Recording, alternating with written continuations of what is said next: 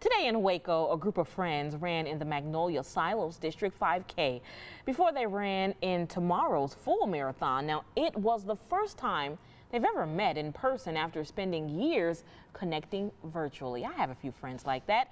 It's truly a story of perseverance, and 6 News reporter Darren Wallace caught up with these friends to learn what makes their bond so special. No, I didn't just run a marathon, but there's a group of four friends who met on Instagram that'll hope to cross this finish line tomorrow.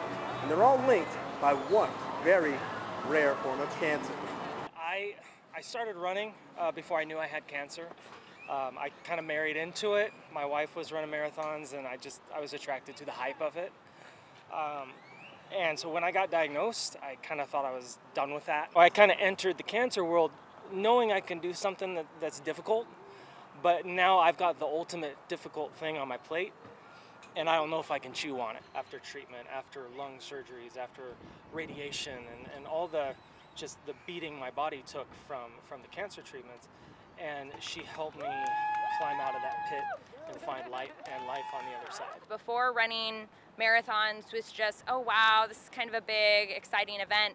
Now it's like, look, we're gonna do something that like there were days we really didn't know if we could continue doing this together. Like we didn't know how long you would be healthy enough to run this far. That day has definitely been the worst day of my life thus far, and I wouldn't go back to it. But I also see how much we've grown from that through our cancer community, through multiple organizations that have, you know, come alongside of us and that we've really been able to kind of link arm in arm with. Um, but I was diagnosed with stage 3 synovial sarcoma back in 2017, about six weeks after my daughter was born. So you not only do you get a cancer diagnosis, you have to go through treatment, and now you're going to lose your leg. That, and then you have a six-week-old daughter sitting right next to you. And to say that I was scared would be an understatement. I thought my daughter won't have a mother. I mean, that's just the first thing that pops into your head. There's not a lot of amputees out here. We, we don't just go in wheelchairs. We don't just, you know, park in the handicap spots. We run. We're active. We do things. Like, I want that perception of like, oh, you're disabled so you don't do anything gone, because that's not the case anymore. It's just not. I myself am not a cancer warrior, but my mom